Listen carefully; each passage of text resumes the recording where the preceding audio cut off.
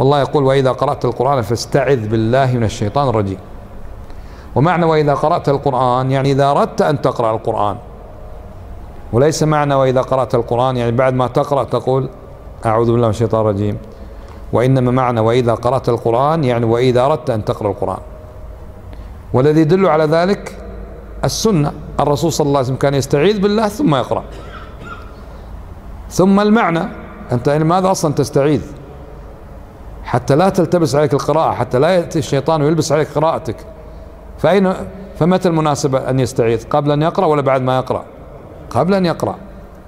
فمن حيث تطبيق النبي صلى الله عليه وسلم العملي يستعيذ ويقرأ ومن حيث المعنى أنت تستعيذ بالله من الشيطان الرجيم تطلب منه العون يعني اللجوء إليه والاعتصام به حتى يقيك الشيطان ولا يلبس عليك قراءتك.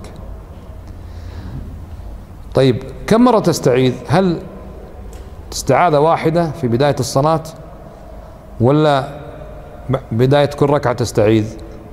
هنا العلماء منهم من قال هذا ومنهم من قال هذا.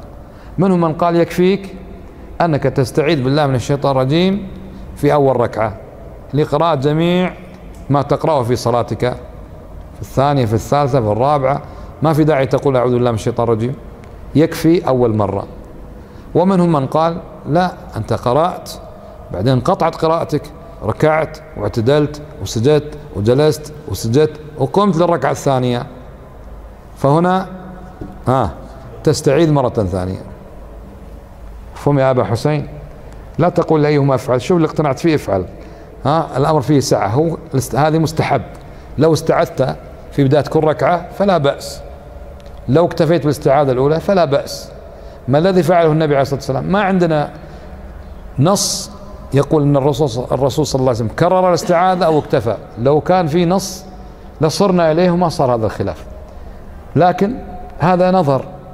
انظر هل تكتفي باستعاذة واحدة لكل الصلاة أو تستعيذ في بداية كل ركعة. يستحب أن تقول أعوذ بالله السميع العليم من الشيطان الرجيم. لماذا؟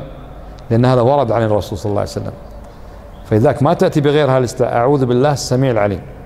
ما تقول مثلا أعوذ بالله العظيم الجبار. لا. لأن هذا ورد عن الرسول صلى الله عليه وسلم فتقول أعوذ بالله السميع العليم من الشيطان الرجيم. واضح؟ هذه الاستعاذة.